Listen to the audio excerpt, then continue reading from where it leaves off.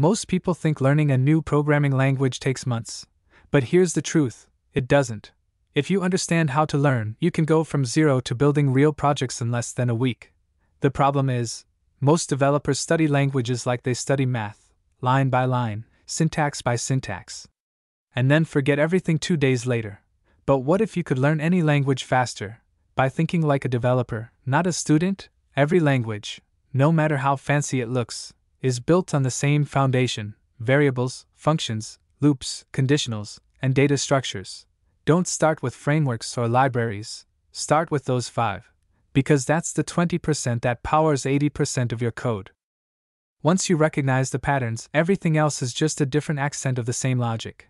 Here's a secret the best developers use they don't learn by reading docs, they learn by translation.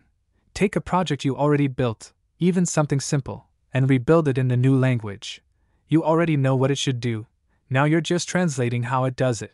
This instantly rewires your brain to spot similarities instead of differences.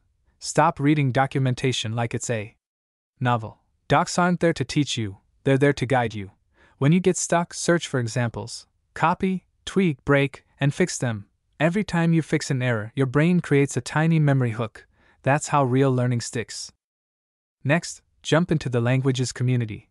Subreddits, Discord servers, GitHub issues, even Stack Overflow threads.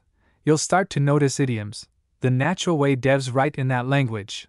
That's the difference between knowing the language and actually speaking it fluently. The fastest way to master something is to explain it, even if it's just a 30 second post or a blog snippet. When you teach, your brain organizes information differently. It stops being random facts and becomes a skill. So remember, you're not learning a new language. You're learning a new dialect of logic you already speak. If you want a free checklist to follow this exact process, it's linked below. And next, I'll show you how to master a new framework in under 48 hours.